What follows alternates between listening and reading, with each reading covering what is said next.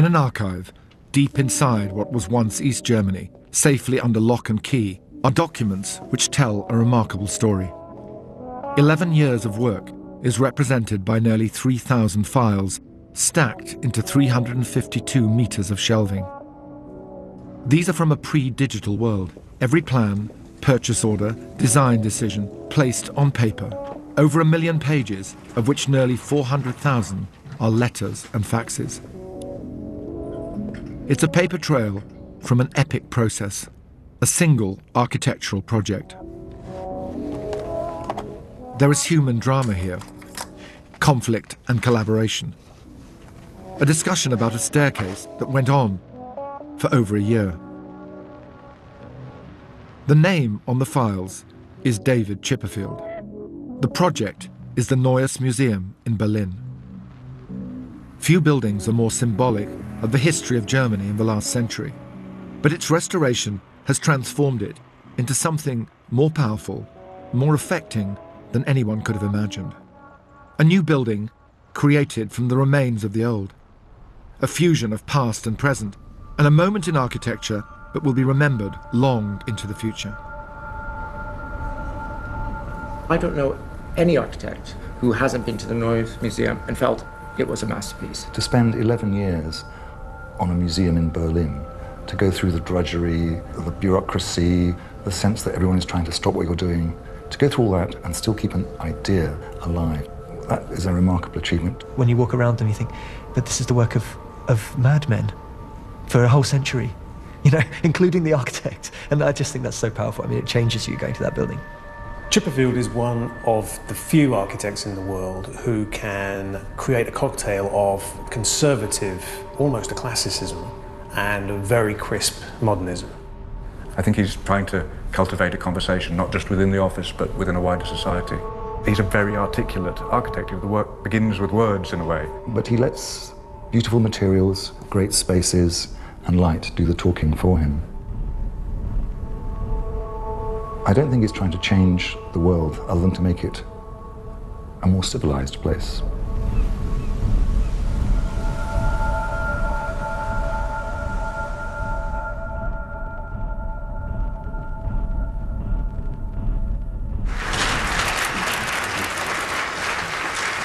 Sir David Chipperfield, CBE, Royal Gold Medalist, Stirling Prize winner, is among the most admired and sought after architects in the world. Earlier this year, he was chosen to design a new contemporary wing for that temple of culture, New York's Metropolitan Museum of Art. Commissions don't come more prestigious than this. What's more, the new building will replace the current galleries, which face onto the hallowed ground of Central Park. He's come a long way from the frock shop in Sloane Street, which began his career. To visit David Chipperfield in his office, you ascend a slightly tatty 60s office block from a windswept corner next to Waterloo Station. This is how you might imagine an architect's office should be space and light, tables for meeting and eating, where even the tableware is designed by Chipperfield for the Italian design house Alessi. And have you noticed no computers, only models? And they are everywhere.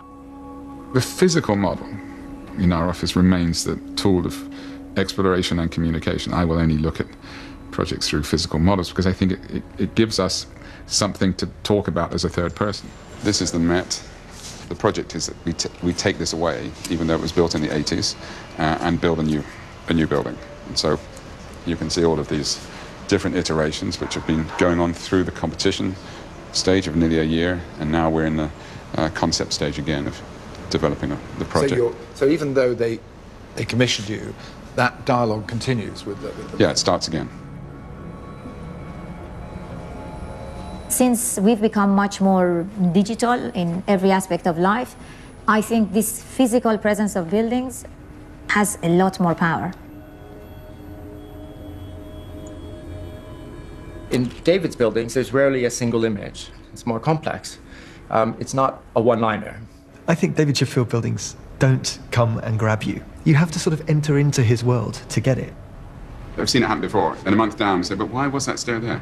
Well, it's, I thought it had to be there. Just got to be careful that it doesn't become a wrong piece of information. So this is your eagle's nest here. You're surrounded by the London that you, well, I won't say, what the London that you what? Well, there is, a, there is something sobering when you sit here and you discuss architecture and you stress about a staircase or a plan or something small, and then you lift your head up and you look at that and you think, what's the important thing? Is designing a, a staircase have any relevance compared to designing a city? You know, I mean, what's architecture for? That's my worry. What, what, what are we doing as architects? We're leveraging value on projects with, where value can be leveraged. Architecture is always dependent on investment. But at the moment, investment is a sort of wild beast. The money that's coming here isn't just from someone walking down the street and saying, oh, that's a nice site. Maybe, you know, I could go to the bank and raise some money and develop it. It's global money hovering around trying to find a place to land. London has changed dramatically since Chipperfield started out as a young architect, working in the offices of both Norman Foster and Richard Rogers. There was still a heroic social aspect to the modern architecture of the high-tech era. Richard and Norman both had strong Social. utopian yes. background. I mean, I think the Pompidou Centre is the last great utopian building. Willis Faber, you know, which I used to take people around as a you know, member of the office, is a, one of the great office environments. Very socially inventive. We came out of school with a completely different expectation. Sitting in Richard Rogers' office with 12 people after he built Pompidou, you think, well, if, if you if built Pompidou and that's all, that's all I mean, what chance for the rest of us? Salvation came in the shape of a shop. I remember talking to one of my professors who was a you know, university builder, just couldn't believe it. I was going to design a shop. Why would I humiliate myself? And I just thought, well, this is the best chance I've ever seen. The Miyake job was a quiet building. It was beautifully done, very polished, very elegant, very minimal. And you could call what David was doing sensual, born again modernism. It was a different take. His shops were incredibly simple, and he was trying to focus people's perception of the store on the little shifts you can do at that scale. You know, whether it was change of materials or change of levels, etc. Rather than selling the shop as a kind of a market. The success of Issey Miyake's store led to more stores and to more work in Japan. Japan became a huge patron for a whole emerging generation of sort of radical young architects. A country which had its own indigenous avant-garde architectural culture. And David benefited from that. His first two or three standalone buildings were built in Japan. And those buildings were often built in urban contexts which were very poorly defined or sometimes even rather hostile and they have the character of castles when I look at them. They seem kind of fortified, as if they're turning in on themselves and very preoccupied with an interior space and an interior kind of passage of movement. So they become these sort of worlds unto themselves. Japanese culture seemed to value an appreciation of simple things, clean lines, the everyday made special. It allowed Chipperfield space to be modern. I was hired for three weeks to help on a Japanese competition, and I stayed for eight and a half years. And those first five years, David struggled. It was very hard. The very few people in Britain were interested in contemporary things. Chipperfield's breakthrough in England occurred when he won the competition for the Museum of River and Rowing in Henley upon Thames, a town where modern architecture was regarded with suspicion. At some point, one of the planners said, you just have to think, would Prince Charles approve of this? I said, hang on, this is not the criteria on which planning applications should be considered, but in a way it was then. And I think architects had underestimated the, the need for the familiar as well as the strange. In this case, the touch of the familiar was the inclusion of a pitch roof in the design. I realized if I didn't do a pitch roof, I'd have no chance. And actually, it was shortlisted for the Mies van der Rohe Prize. And uh, gossip had it that Prince Charles, it was one of his favourite modern buildings of you know, that time, which I probably shouldn't boast about too much. No, but, but, why not? I mean, in a way, and, and, it became a fun, you know, everyone liked the building. He did have a pretty hard time from, among others, the Evening Standard, which launched a crusade to stamp out Chipperfield in London. Partly it was to do with this house for Nick Knight, the photographer. To me, it's a modestly scaled, quiet, sensitive addition to the street, a street which I'd been to characterised by militant pebble dash and half timbering. And I think it actually contributed to David's slight paranoia about the British press and a sense that people were out to persecute him. The lack of uh, reception for his work uh, did form him to some extent. I think there was a, an ever so slight bitterness, if I can say that, and uh, that fostered a kind of determination that you see later, a kind of steeliness that you see in his work. He is absolutely determined to do things the way he wants to do things. One of his early clients, converts even, was the sculptor Antony Gormley. We go to work in a David Chipperfield studio. We live in a house that David helped us convert, and we eat with David Chipperfield knives and forks. So we genuinely do uh, depend on David Chipperfield for our, as it were, external body. The brief that we gave David was space, light, and silence. But there was immediately this understanding about material and about volume that absolutely caught Vicken and I um, as being somebody who understood about the relationship between light, material, and space. Could say that is what architecture is.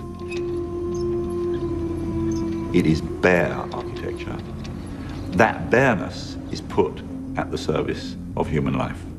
So that life itself, the way that human bodies occupy his spaces is its decoration. And uh, I respect and admire the way that David has upheld that notion of, in a way, the humanity of architecture.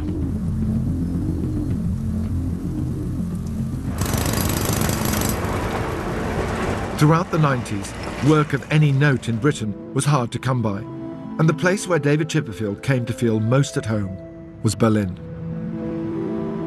It's always intriguing to see what architects build for themselves, and in David's case, this was the place to be. In a typical Berlin courtyard, there are a group of simple concrete buildings. He has an apartment on the street side, so you could say he lives above the shop. I love his own house in Berlin. I love that. I, I mean, I think that's a kind of a dream house. There's a canteen which is open to the public.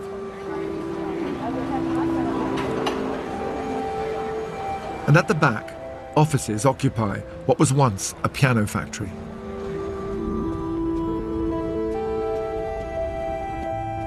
David's architecture begins with the city. And that's a very different way of working from most celebrity architects today who really are driven by the idea of architecture as an image. Sharing this philosophy, there are now around 200 architects working for Chipperfield, with offices run by directors in Milan, Shanghai, London, and of course, Berlin. When we go for lunch and we see people coming from outside, people from inside sitting there in the sun enjoying their lunch. Even other architects. Even other, uh, that's the biggest reward. architects from across the street. I mean, how much can you get? Hosting events, entertaining, mixing clients, neighbours, friends, and above all, artists. Bringing people together is clearly important for David and his wife Evelyn.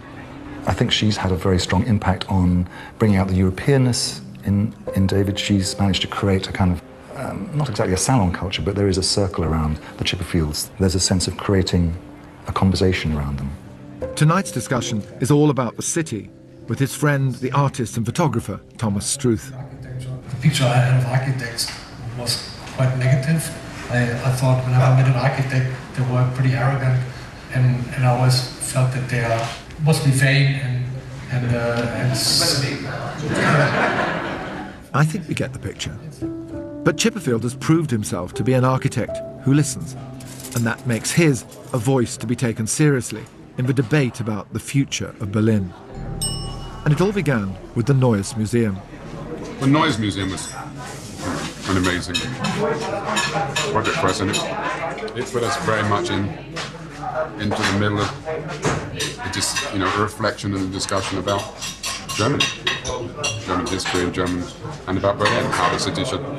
So, you know, as the city's forming, trying to deal with past and future, the Neues Museum was seen as, as a valuable contribution to that discussion. You were doing it from 97 until it took you how many years to, to?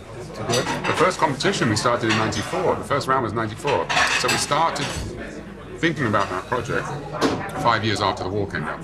And did you see this as something to help bring Germany and Berlin together? Bring the, did it, did, was this one part of the I was only an architect. Oh, come on. Chipperfield's campus is in the Mitte district, once part of East Berlin. It's a mixed area, with Plattenbau, the concrete prefab blocks so characteristic of the GDR, just at the end of the street. David says he loves the neighbourhood because it has room for the unexpected. Today, that includes a visit from film director Wim Wenders, who's joining us on a walk through the city. So, our common neighborhood. You live near here? I Yeah. just Lives up live there. around the corner. I can look into the shower. Yeah. We've got a sort of anti-Wim curtain on our shower because Because when they found out I could see them taking a shower, they got scared. Yeah. In the aftermath of the Second World War, when the reconstruction of Berlin began, it soon became clear that two distinct cities were emerging. The division between East and West was made concrete by the building of the Berlin Wall.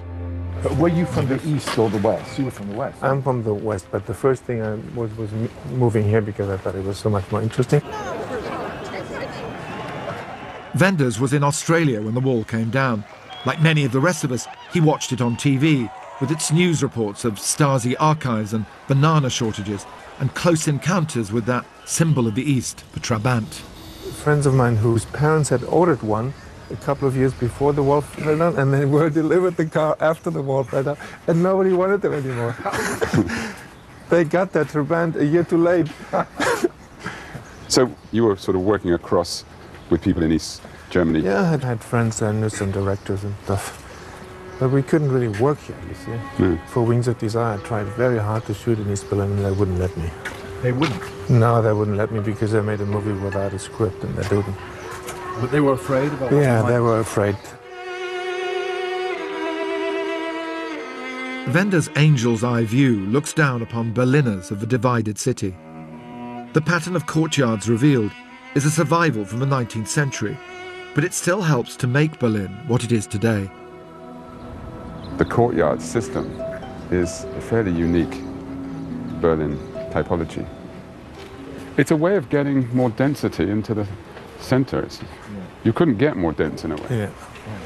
Look here, you can see all the way. Oh yeah. See? And But I- some were very regulated, like you were, no kid was allowed to play, and you still sometimes see the signs, no playing and no, no cleaning of carpets, and really? yeah, Well, I suppose that what they felt there had to be rules. yeah. Yeah, because if people- Germans love rules. do they? They invented all the rules. We could have picked a nicer day.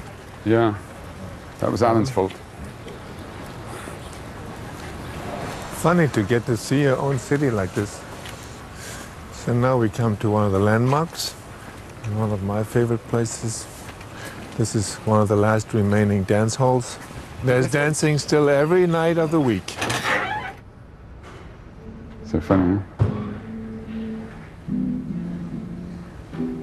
This has all been stage managed by them. I mean, this is a s- film set. It's not for real, sure.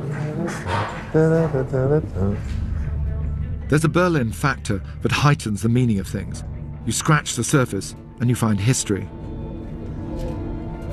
These photographs were taken in the mid 70s, at the height of the Cold War.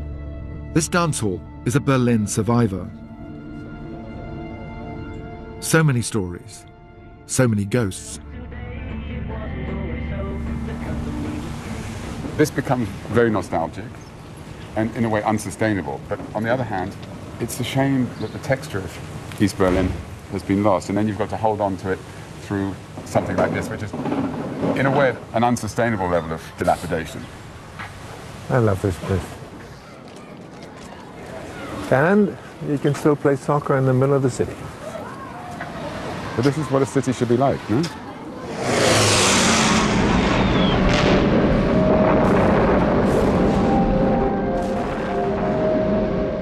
destruction and dilapidation have defined Berlin, a legacy of the war and the wall.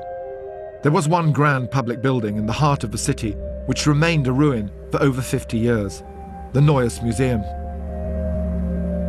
It was designed by neoclassical architect August Stüler for King Friedrich Wilhelm IV of Prussia. It was a way of affirming power through art when it was built in the 19th century. But the 20th all but destroyed it. It was bombed by the Allies, pockmarked by bullets and shrapnel as the Red Army took possession of the city and left to rot during the GDR. The weight of all this history would eventually fall on the shoulders of this quietly spoken Englishman. The restored Neues Museum today looks at a distance like what it was meant to be, an evocation of classical Greece transported to Berlin. But look closer and you can see the scars of history. They're there because of a decision taken not to restore, but to keep, clean and repair the fabric of the building that survived. To treat it in effect like the fragments of a precious Greek vase. Some spaces required dramatic intervention. The grand staircase hall, linking the three stories of the museum, had been bombed right through to the basement. It would need something special from the architects to live up to what had been lost.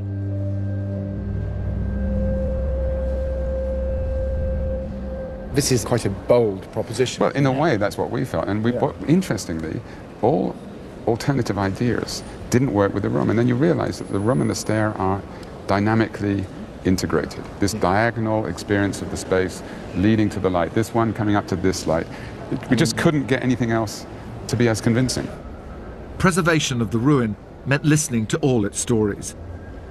The fabric showed the scars of war, and in one corner, the walls were blackened by fires from the battle for Berlin, when the women and children of the city were among the last left to fight against the advancing Russians. Did you have to look at each of these areas and these spaces and think, well, what's the story here? Why is this here? Why should we keep it? Should we not keep it? it? Is that what you did? It's a detail and it's hidden there. And then you just at the second glimpse, you realize suddenly where it comes from, yeah. and that's it. At the concept stage, not all Berliners were convinced. Some continued to demand full restoration. A campaign was mounted against the Chipperfield plans. Watercolours showing the polychromatic glories of Stüler's interior were compared to stark concrete.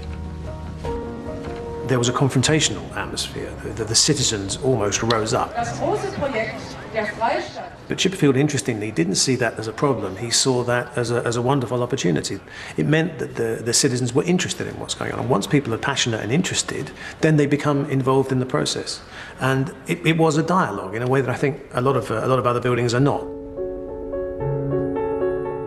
The starting point for the process was an analysis of a ruin by Julian Harrop, the conservation architect.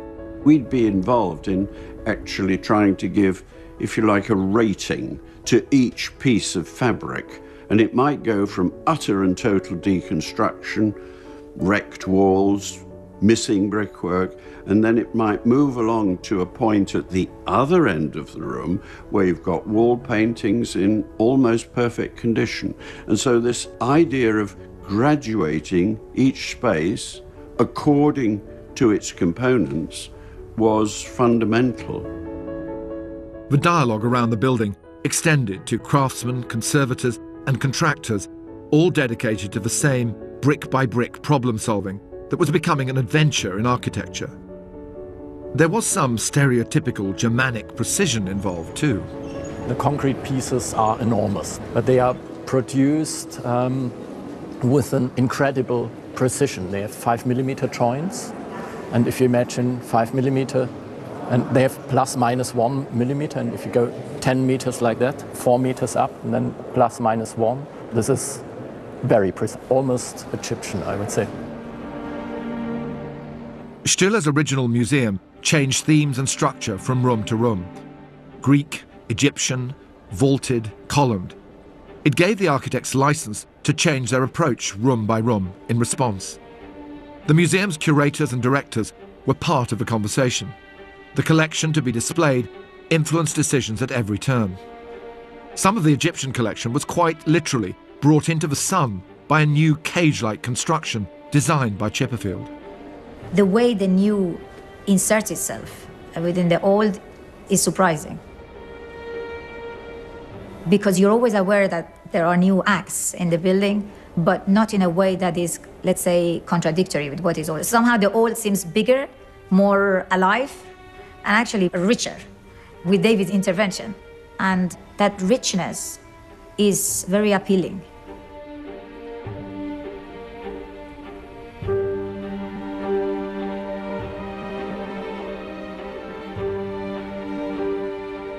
the decoration had been lost in many places. So in places where we lost it completely, we faked the, the grid again. We just did that as an impression. So you got the sense of pattern.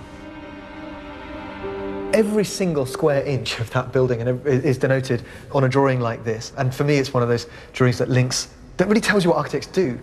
And you know, I, I get really excited to see this because it's as authored as the napkin sketch. This is as much what David is as the kind of little doodle. You know, this is really the work of David Chipperfield Architects and that kind of ruin was was you know a problem. I mean, it was it was a really big problem. No one knew what to do with it. No one knew how to handle its kind of neoclassical heritage, or its GDR heritage, or its Second World War heritage, or you know all of those things were impossible to, to deal with. Uh, there was a desire for by the client to have a much flashier, much more kind of 21st century looking building. Renowned American architect Frank Gehry was Chipperfield's chief rival in the architectural competition for the project. The process was tortuous, and the presentations took place in this room as a young architect, I had the drawings pinned on the wall, and the general director, who would want to Gehry, after about five minutes, stood up, came to my drawings, hit them, and said, "This is shit. I do not need this. This is shit. Really? My God. This is absolute shit," and walked out. And I was like five minutes, and there was like 30 people there. I said, "So now what do I do?" And I just thought, like, the most important person in the jury has just left the room. Then we got a phone call after saying that we decided to do a second round with you and Gehry. So congratulations, you're through to. So we were given another two months, and it was head to head.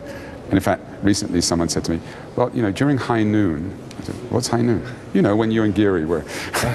it became a sort of. It was. So you were in, on the same day. Yeah, I mean, we didn't.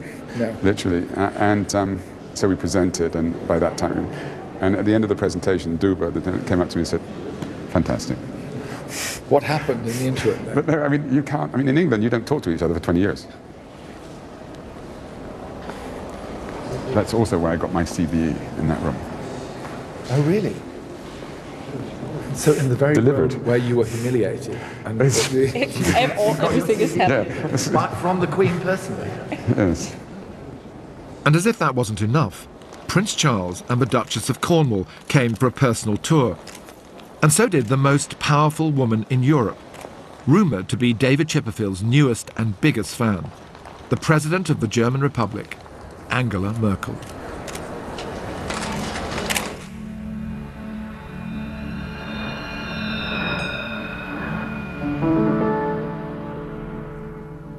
It does have a very special character, and even as I walk around today, there are certain sorts of things. The fall of the light in the western sun is fantastic, and the discovery of tiny little things which happen is going to keep me going there for a very long time. Every decision had to be formulated by us, then had to be proposed by us, then had to be approved by the user group and the delivery agency. Administered. I felt it could have stayed empty because the building as such was so extraordinary. It was such an incredible document of history and of taste and of all this, everything that happened to the city over. Yes, what a great narrative. Yeah, it was. The story was all there, and it, it almost seemed a waste to put it full of art. Just saying that when he went to the Neues Museum, that it seemed a waste to put any art in it because the narrative and the story was so rich. I know, I you didn't need all it. the art in there. We better cut that out. We cut that out. No, what? Makes it even richer.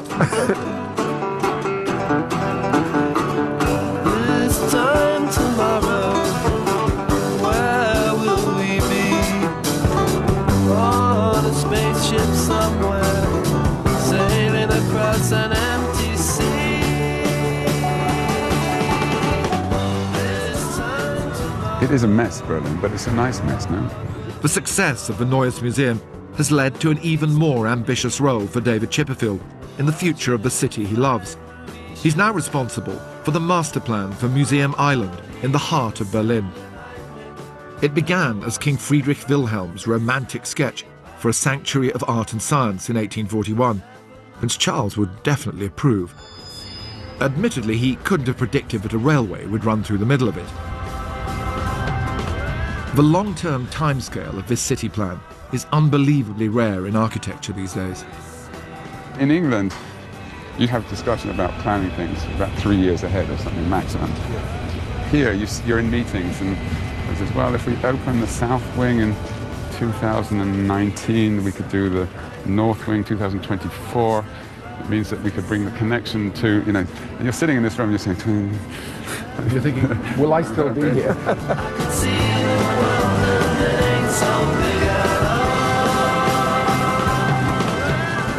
Whatever the future brings, Chipperfield has already made his mark. That's a Chipperfield building. And so is this a townhouse art gallery on a prize site that rather playfully seems to both fit in and stand out at the same time. Those windows are really tall.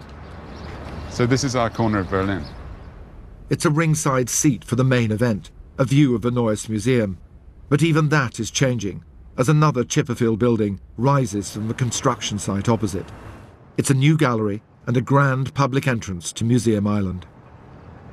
So what this building does is add a whole lot of facilities that the Museum Island doesn't have. And then it sort of helps bind together all the buildings.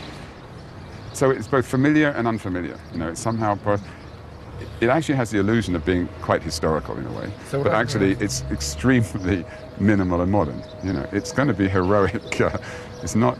It's not as soft as people might think it might be. It's going to be a little bit shocking.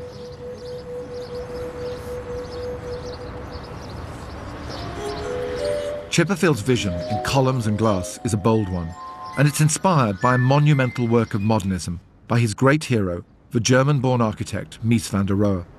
It's a building which plays an important role in the story of West Berlin. Once the city was divided, of course, the West had lost, you know, its, all its museums. So then they had to build these alternative institutions. And a rather strange place to build it in a way, because the, you know, so this new center, cultural center, was not in the center of the West, but as close to the wall as possible. Provocatively, in a way, reminding people just over there how good it was over here. It's a strange moment when a temple of modernism begins to show its age. Chipperfield has won the job of refurbishing it. You can just see the level of trust that the German people have in David to feel comfortable to let him deal with this masterpiece of Mies van der Rohe's. It's a unique opportunity to get forensically close to the work of the man who famously pronounced that less is more and that God is in the detail. The roof was built as a plate on the floor, and as it went up, the, the legs just swang in. And no one had done something like that before. Was he on the site when this was all done? Well, he came to see the, the lifting of the roof, and he, I think, as an act of bravado, went underneath the roof to prove how. how do you do things like that yourself? No, no. Hello. Restoring a Mies building is not going to be easy. Every element, every joint is part of the architecture. Even its plan has a graphic purity. This is a formidable drawing of Mies van der Rohe's Neue Nationalgalerie in Berlin. And it's a reflected ceiling plan showing that extraordinary grid within a grid within a grid of, of um, the kind of Mies van der Rohe module of this square temple in the center of, of Berlin. I must say, for me, it's kind of one of those moments where the apprentice meets the master. This is a glass and steel building. It's also a gallery in which mm-hmm art has to be exhibited. I mean, most people would say, well, most galleries, they have hardly any light coming, and this is all about light. How do you deal with that in relation to your responsibility towards what comes in here, and how are you, are you thinking hard about that? Mies was challenged early on, you know, that, that uh, this was going to be a problem, and he amusingly said, I know, but I think it was it's such an interesting concept. I feel obliged to pursue it, which I think is a good line. Yes. It's a good line yes. to use against your clients, but I'm not sure we could ever do that ourselves. Mies had this sort of idea about how you would do it. So he hung panels in here, and you walked in, and it sort of worked. Now the building has an authority, and, and it, somehow it's part of nature, it's part of the city, and everyone recognizes that this is the great room of Berlin. But you can see that simple things over the years have just gradually eroded the quality. I mean, one of the biggest problems has been the glass. I would say th- this architecture forgives. Uh, does not. Yeah, Forgives anything. nothing. Yeah, yeah. exactly. Well, because uh, I mean, this is God is in the detail. Yeah, Mies. and, and of course, this is a very you know minimal building, obviously in Yeah. that sense. So every single you, you've got very few materials you're using, Uh-huh. and they've got to be. It's got to be right. this materiality is fundamental, but it's, it's full of weaknesses in terms of how we now would build up an isolation between inside and outside. So great sheets of condensation form on the inside of this building. And they even anticipated that moisture because this is like a rain, this is like a gutter. We're going to spend a lot of money restoring this building. So therefore, if we're going to restore it, surely we're going to solve all the problems, the technical problems that the building carries. Otherwise, why would you spend that money? On the other hand, we're restoring Mies. So surely if you're going to restore Mies, you're going to restore Mies. What's the point? true to Mies, What's the point of killing Mies in, in protecting him? So you actually have to have a cross-cultural dialogue. You know, in England, I think we would just get, it would get project managed out of Yeah, historic- and they would it's say, "I'm sorry, that's costing Yeah. that much more. And no one's know- going to tell the you know, difference." we've to do talked about this enough. You know, we've had two meetings, and we've just got to make a decision. In Germany, you can have 20 meetings, you can have 40 meetings. It doesn't matter. But you do, don't you? yeah, you do, until you get it right.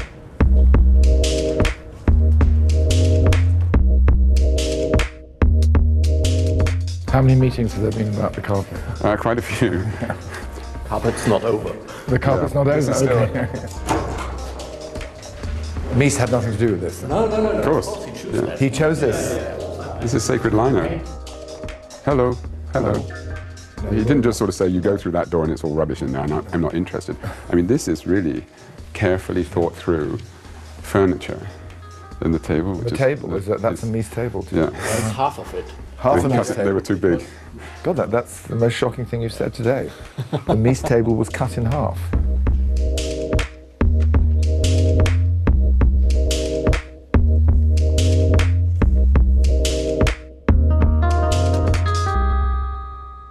Look how beautiful that is. He did love the way to build. I mean, he was absolutely interested in, in uh, construction, not image. I mean, you know, the problem about architecture now is that we've, we've become more interested in the virtual than we are in the, the, the experiential. And the problem is that a lot of architecture is known through image anyway. Well, it's an interesting point that we never talk about with architecture, which is how a building feels. Mm-hmm. You know, it's not a, not a. a Absolutely. Very verb. difficult to discuss. No, but the, and yet, it's That is an what it. That's what it's about. that's how what does it the building feel? Thank you very much. Absolutely.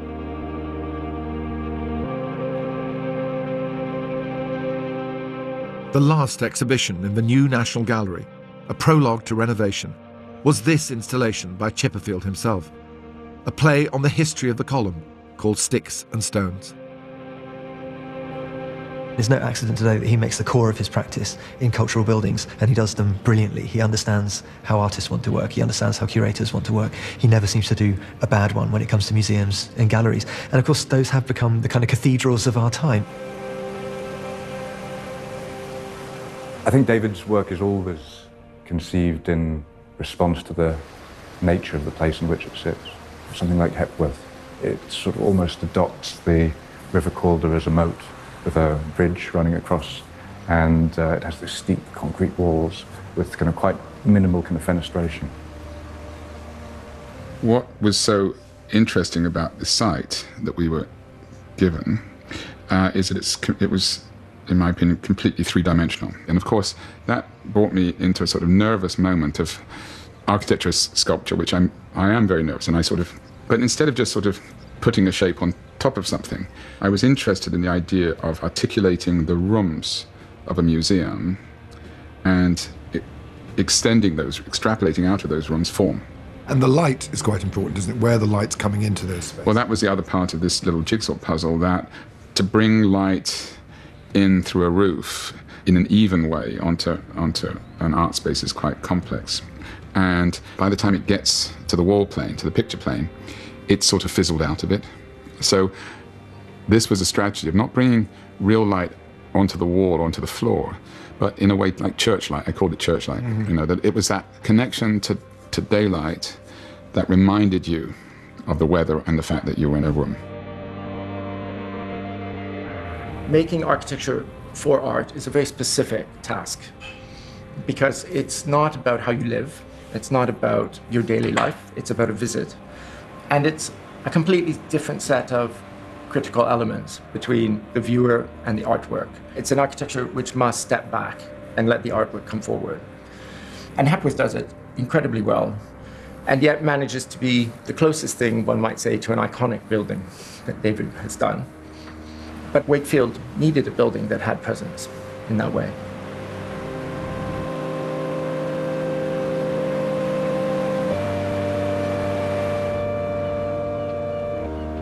one of the questions that you know remains out there. You know, can we only find architecture in our museums? I mean, I'm you know I am very self-conscious that we are in a sort of green zone in doing museum architecture because you are privileged generally to be in an environment where everyone's roughly going in the same direction. There are no explicit enemies. Um, at the same time, being an architect out there, outside of the green zone, um, uh, in the commercial world, it's become increasingly difficult and architecture has become increasingly isolated. Buildings have become isolated from the fabric of the city. Um, they don't just replace, you know, you don't take one building down, replace it with something roughly the same size and slot it back in. You take 10 buildings down and build a tower. When I was director of the Venice Biennale, my, my theme was, you know, common ground. And of course, I was lamenting the lack of common ground between society and the profession.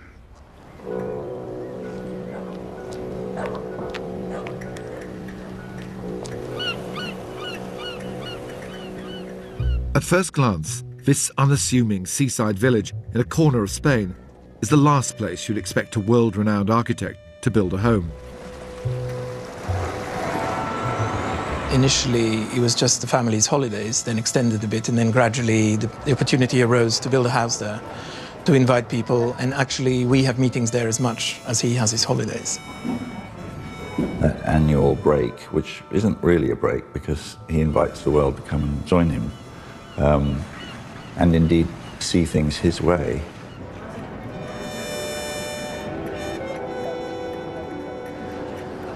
I mean, there's the beauty of this natural environment, but also it's a kind of quite an ordinary. You could, some people might say even it's a quite ugly town.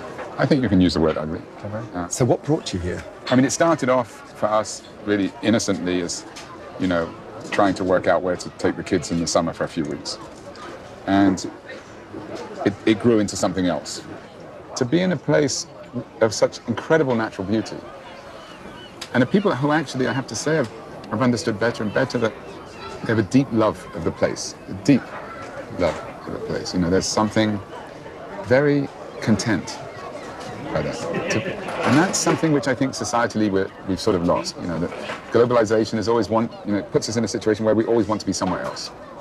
And what has been the great experience here is that we've tried to, you know, we found a place to be. We've tried to um, be part of it.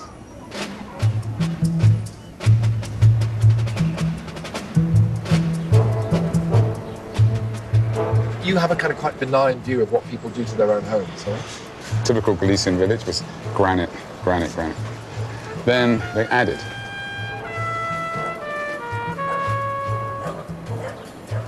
They stuck tiles on things, and you know they added areas. And that might cheer you up. one person does it, and then the next one decides to copy it. and this has got a 3D print on it.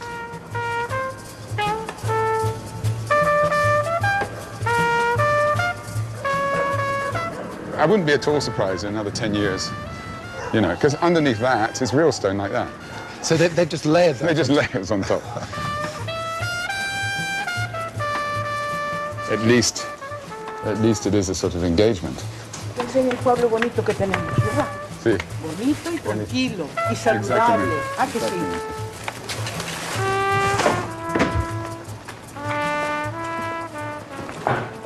What'd she say to you? She said it's a very pretty village and very tranquil and nice to be in. No, but it, it, you know, it's, there's something pleasant about it. There is. There's something you know. charming about it. And So- everywhere you go, something hits you by surprise. Yeah, it's full of text, it's full of life, it's full of, you know, and is, is a lot of it ugly? Yeah, sure. But the problem with design and architecture, and especially now, it takes itself too seriously. And in the end, you've got to remember what it's, what it's for. It's about people. It's not, it's not, it's not that important. And here we are, actually. This is, this is your home. There was a gap in the village, and it's a really strange gap, and you can see that the street turns, all the buildings stick out in a funny way. So I didn't know how to design a house that fitted into this strange geometry. It's very inspired by Alvaro Siza, who's whose right house by the traffic lights. The only traffic lights in town. So you go in? Yes. It's actually quite a small house. So how does he manage to get so many people into it?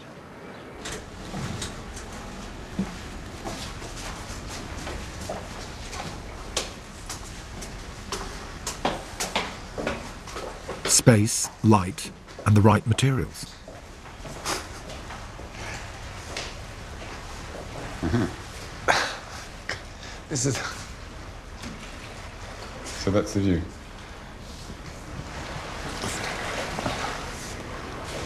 That is quite something. It is interesting.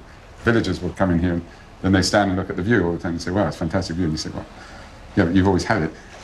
But there's something about framing a view or, you know, intensifying something.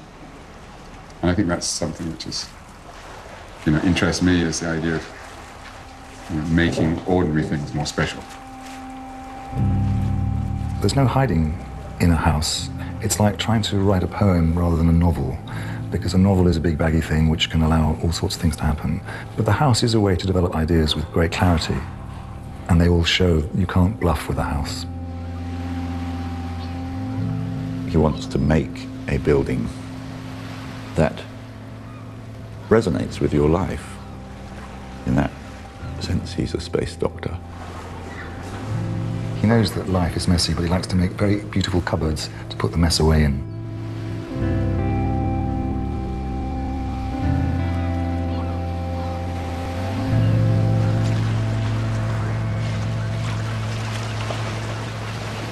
We shouldn't leave Evelyn out of this because together they've become an extraordinary team. Ay, Manolo. Manolo, ¿qué pasó con Manolo? Que nunca más volvió. She's so, I think, emotionally intelligent, and Evelyn's interest in Muchas gracias. uh, the human relations within the Chipperfield practice has been absolutely intrinsic to its success. This house, the space that you created, he's created, it's quite small, isn't it? Well, it was a tiny little triangle in the village, and the neighbor wanted it for his car. And I think the only reason why the man who owned it sold it to us is because he started to worry that this neighbor who he really disliked intensely would actually get it for his car. So he sold it to us. And it did look like a triangle, like something that nobody could do anything with. And I suppose I have a good architect.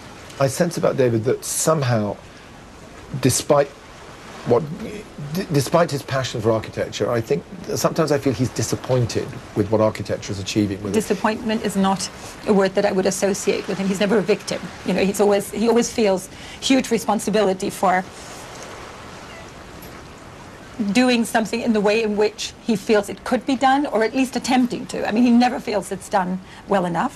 I mean, that that is sometimes nerve-wracking. I mean, he always, you know, to say not bad is the height of ah. The height of, of, of praise. So, what would David be if he, if he wasn't an architect? What would be the thing that would give him Oh, satisfaction and pleasure. I would think he probably would do anything, you know, anything in, in a very similar way.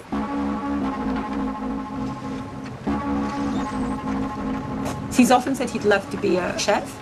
Apparently, before he was an architect, he thought of being a vet, which I can't imagine at all. He'd love to write novels. but I think he likes to be an architect. David sailing can be a metaphor for a man that has sailed his own course with a distant horizon. He was never one for short gains. David's became fanatic over the years about sailing. The whole family did, and it's sort of great, you know, he takes people on the big boat.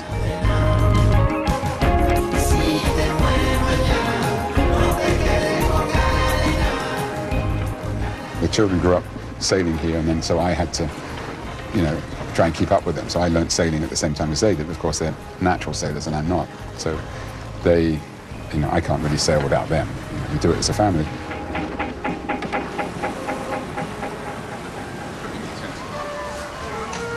Everything's on that plateau.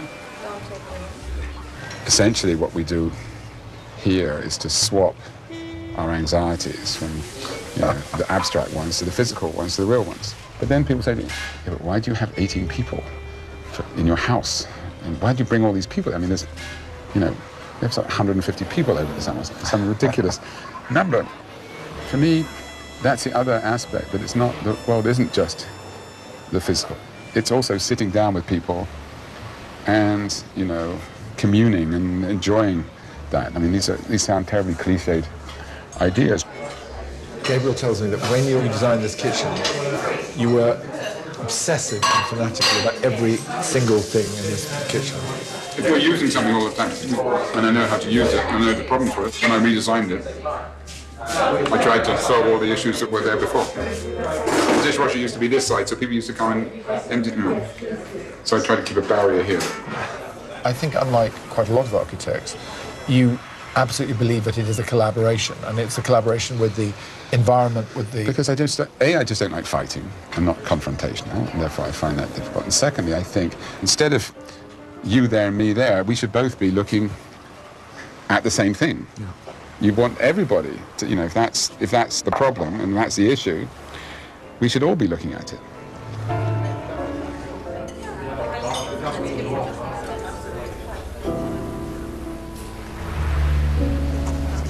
Sort of a white, it's quite a modern bridge. It's concrete. Yeah, exactly. So you've not really chosen to reference the brick in any way. Well, uh, if you use the brick of the building, it, no one's, you're not going to convince anybody that that piece is part of the original building.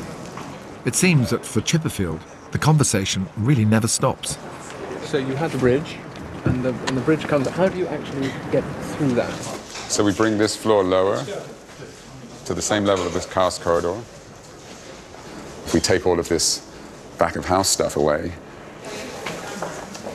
take away all of this crap, and it will become a rather beautiful introduction and another dimension to Royal Academy. And it will open in our 250th anniversary, which is 2018.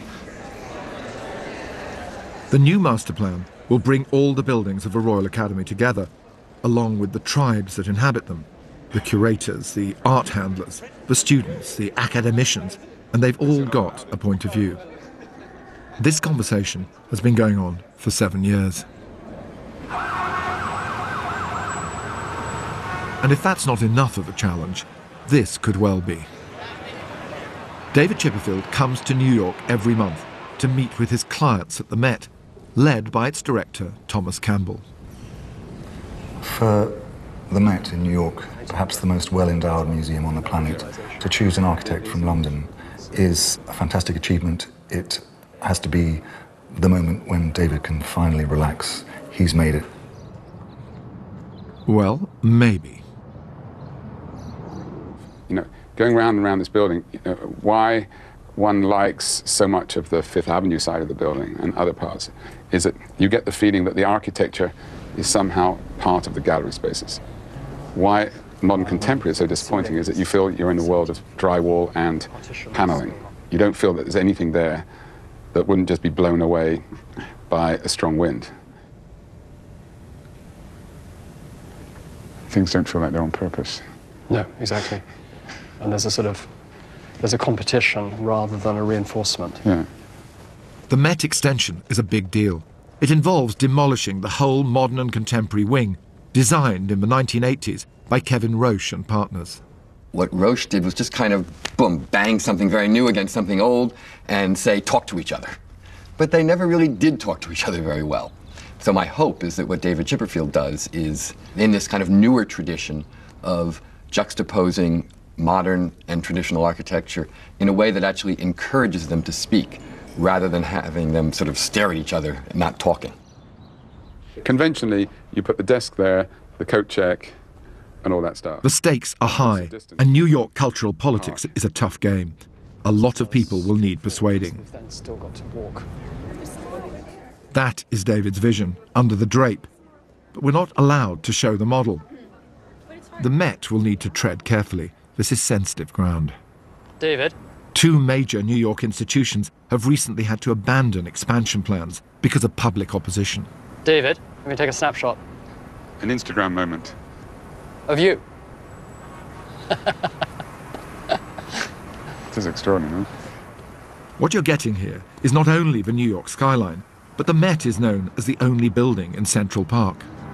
Everybody always wanted the museum and the park to connect better.